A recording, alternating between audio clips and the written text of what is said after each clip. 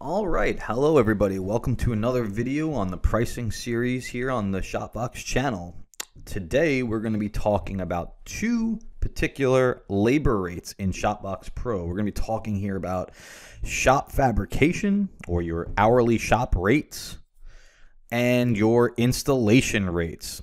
All right, so let's jump right into it here. So we're going to access your labor rates by going up here to the top left and clicking on your name, going to POS settings, pricing, and labor rates.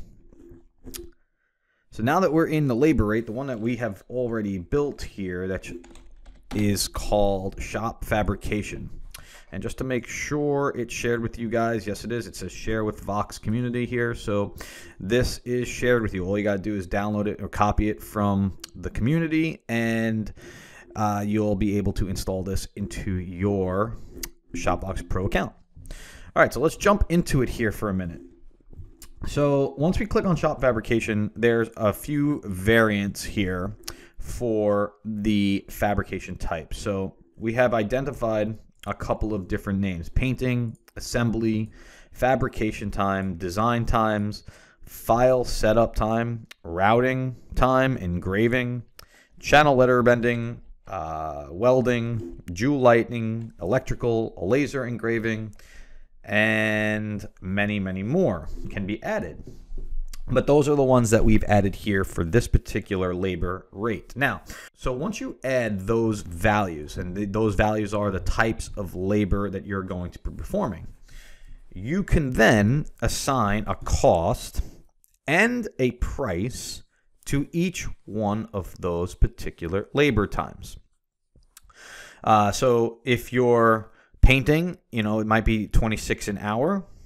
But if you're routing, because it's mostly a routing machine, it's going to be a little less and it'll be $20 an hour. So you can charge and figure out your cost and prices here along this slide rail for all of your different types of fabrication uh, variants. So let's see how that works when you're building out an estimate. So let's go in here and just create a quick estimate here and let's uh, you know, let's use one of the products that we've used before and we'll use channel letters. All right, so let's use this guy here.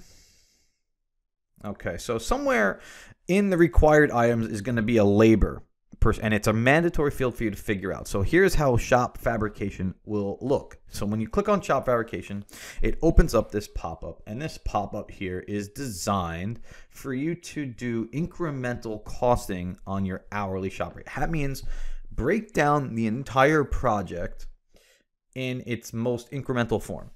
So when you start with channel letters, right, you're going to figure, let's start with let's say uh, routing time. We're going to say it's going to take two hours to route. Uh, channel letter bending might take another four hours to do. Jewel lighting is going to take a little longer. We're going to put that at six hours. Uh, we have to assemble everything. That's going to take another six hours. Uh, maybe there's a little bit of fabricating. Why would there be fabricating? Maybe we've got to uh, assemble a raceway, a fabrication frame, um, you know, whatever the case may be for your shop there. So we'll put that at maybe 10 hours. There's a little bit of fabrication time that's going to be needed. Uh, we'll do some electrical time. We're going to wire everything up. That's going to take a whole day. So we'll do that at six hours. And right now, what I've done is incrementally build out the labor for each individual variant or each individual labor task. So I have a total here of 35 hours. Uh, this is basically how much the entire job is going to cost me in labor, and this is what I'm charging. Now, if there are other things that you want to add here, you certainly can. If you want to add uh, an outsource charge, you can do that right here, a setup charge. Uh, if you want to basically bring in some other uh, types of costs for the job, you can do that right here. And once you hit save, okay, you're going to essentially be able to review all of this later on in the bill of materials page. So if we just uh, let's let's just hit save here. I'm not really building out this product very well, but uh, it's quite all right. This is just the labor side that I want to show you.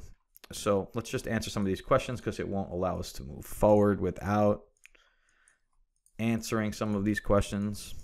Okay. We'll hit save. Okay, so now when it takes us to the bill of materials page, you'll notice on the bottom here, all of our labors are right here in this section.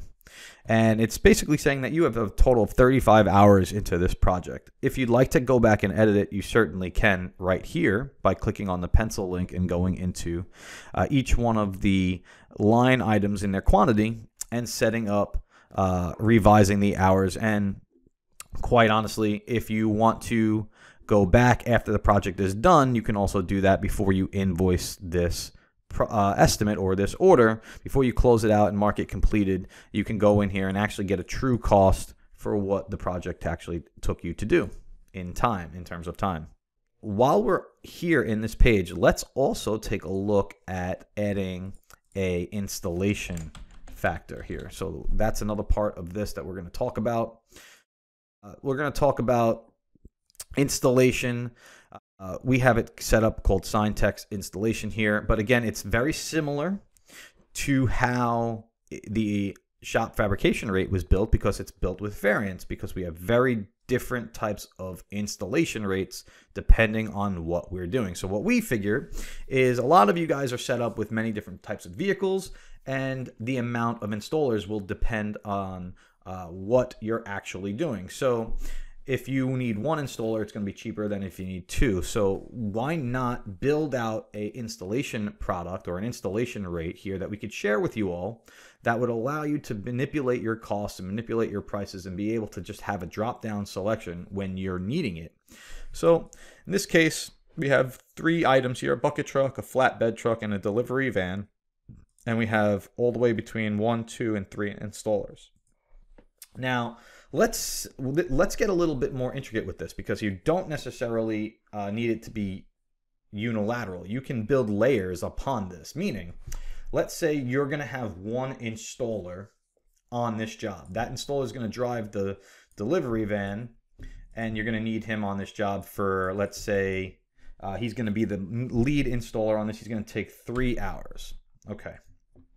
But what I also need is I need someone to drop off the sign to him on a flatbed truck.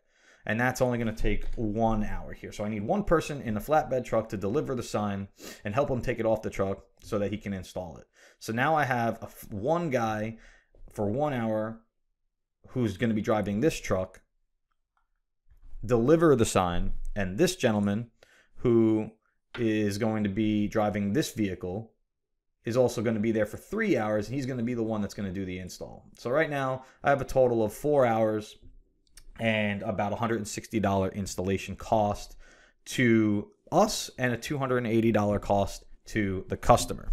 Uh, you can also add some other fees here. You know, if there's rental fees for equipment, if there are uh, items here that you need to purchase, direct materials here that you need to purchase for the installation. Uh, maybe you need to, you know, I don't know, maybe you need to rent a lift or maybe you need to increase your insurance policy. Whatever those costs are, those other charges here, you can simply add them right here uh, and you can actually add that to the total. So uh, if you want to add a, a machine charge for a rental and it's a $150 fee, okay, it's going to simply add that right here from 280 now it's to 430 and you're going to hit save and you're going to add that installation factor here right inside the build a materials page in shopVOX Pro. Uh, quick little tip for you as well.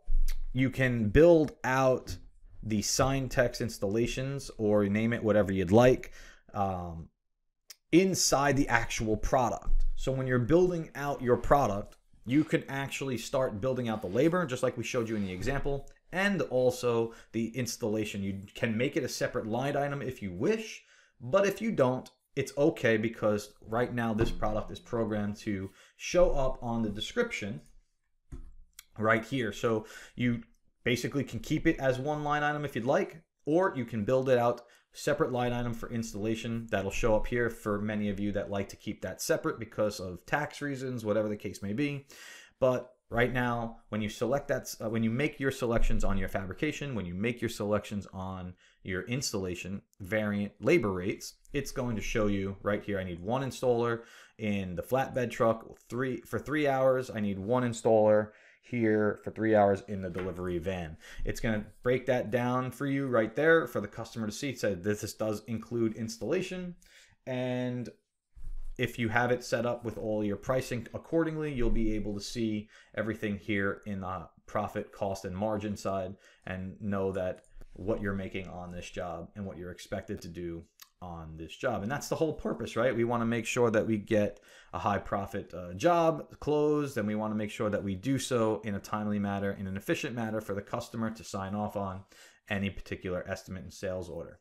All right, so that's it for me. This is Peter Karunas with Shopvox. I really hope that you enjoyed this video. If you have any questions about labor rates or how to set up installation rates for your Shopvox Pro account, leave me a comment below. Uh, you can get me at peterk at shopvox.com.